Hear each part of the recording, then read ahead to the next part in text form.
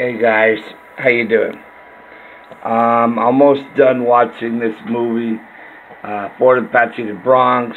It is a very intense movie, and uh, here we have what I consider uh, a real great speech from Edward Asner. And this is in New York back in 1981. Okay. And there was a lot of anti cop sentiments even back then. Okay. But cops did a lot of bad things. Some cops did, some cops didn't. And you'll see it here in what Edward Asner says as Paul Newman, um, after a lot of uh, being in a very uncomfortable position of being a witness to two officers in a panic stricken raid throw an innocent kid off of a roof. Okay. And he had to live with this uh, status as a witness. And cops are a family. Do you portray a family? Well, I know what it's like when you are betrayed by family. Um, but you cannot be silent even when family does something very wrong. It's all about morals and always shooting and trying to hit that moral bullseye, which I often talk about um, as our goal, and sometimes we miss the moral bullseye.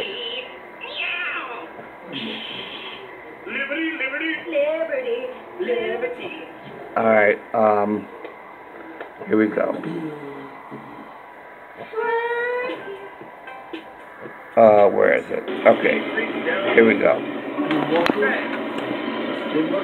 I think so. Meg Internet, which is thirty-nine ninety-nine a month, plus taxes and fees. Let us guide the speed we can use.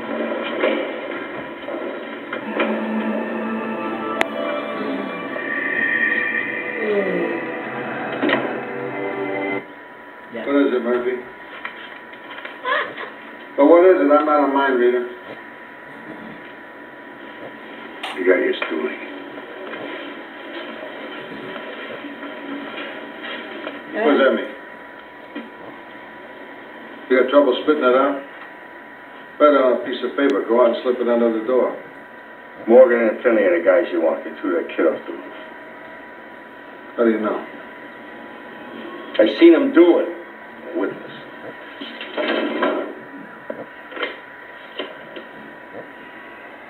Fantuzzi, get the Bronx ADA's office on the phone.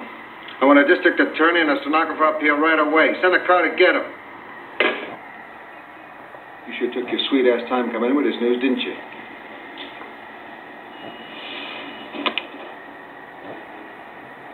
What's that supposed to mean? Well, what does it look like? Isn't that funny? Being a stoolie is my last official act. You're a good cop, Murphy. But I don't think you'd be much good at anything else.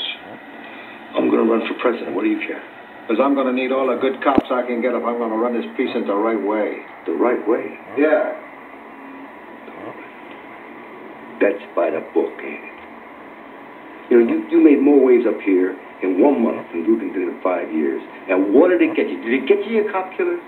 No, what it got you was a hundred bum arrests, another burnout building, and a dead kid.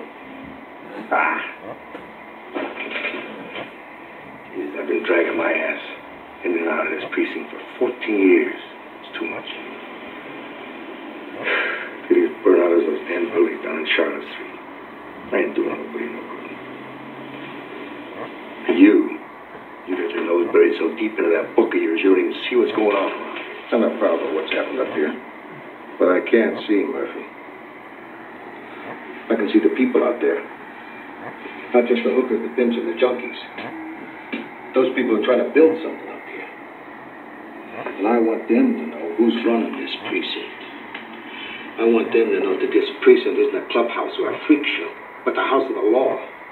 And that the law means something in their lives, and that it's there to serve them.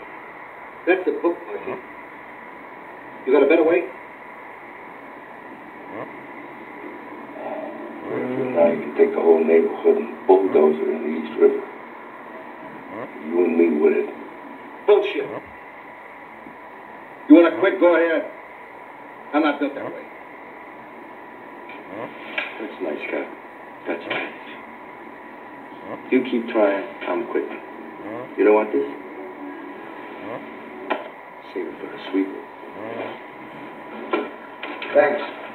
Thank you. I'll have to go down to Grand Jury tomorrow. Yeah, I know. The men will know about it by then. You saw the stenographer come in here.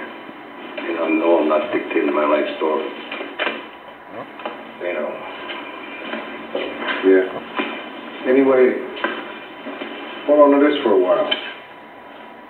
You always throw it back on my face. I'm not going anywhere.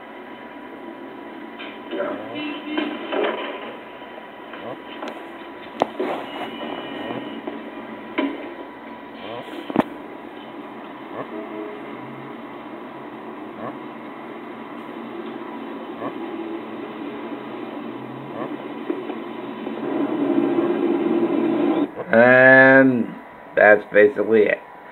Okay, guys.